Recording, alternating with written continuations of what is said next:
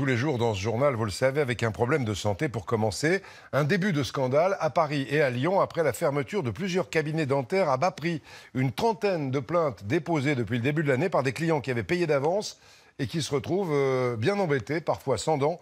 D'autres dénoncent la multiplication de soins parfaitement inutiles. Julien Roux avec Frédéric Agnès.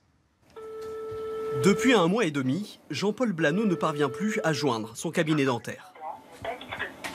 Il a avancé plus de 11 000 euros de frais pour se faire poser 13 implants. C'est 5 000 euros de moins qu'un cabinet classique, mais il en paie aujourd'hui le prix fort.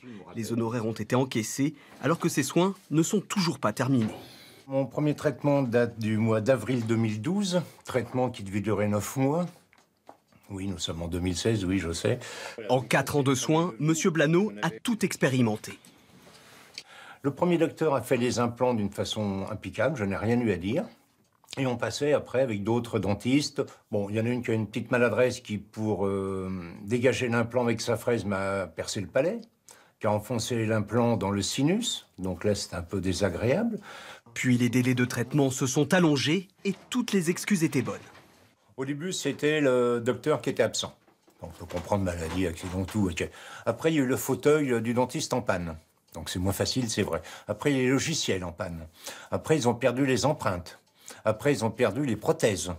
Euh, on a tout eu.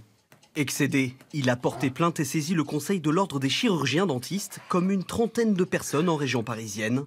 À Lyon, l'Agence régionale de santé a même fermé un cabinet de ce type pour raisons sanitaires. Les représentants de la profession dénoncent la course au rendement engagée par ces cabinets à bas coût.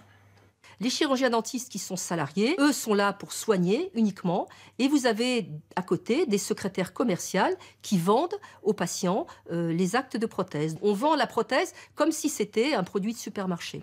De son côté, l'avocat du cabinet dentaire dénonce un acharnement de l'Ordre national des chirurgiens dentistes. Quant aux victimes, leur objectif prioritaire est désormais de récupérer les sommes engagées.